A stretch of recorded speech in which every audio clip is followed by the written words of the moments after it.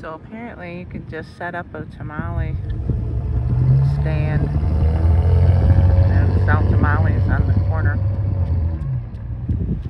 This is at Pueblo and Burkholder.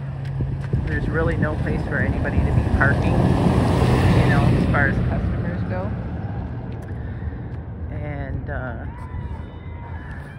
yeah, I, I really seriously doubt that the city of Henderson would have given somebody a permit to set up a stand on this corner. I mean, this is kind of a busy intersection and there's really no parking spaces for anybody to park if they wanted to be a customer of this.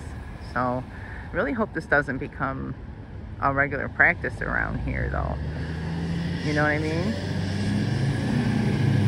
I mean, I'm all for entrepreneurship but I guarantee you, if I tried to set up a stand on one of these busy corners to try to sell something, whether it's food or retail items or anything, any kind of goods whatsoever, I would probably get a, a major fine and get into big time trouble.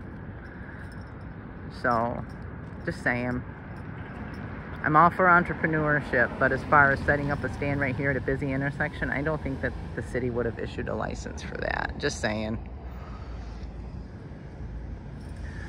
There you go, folks. You want some tamales and oranges, you can come to the Terravita neighborhood. We have our own distributor here.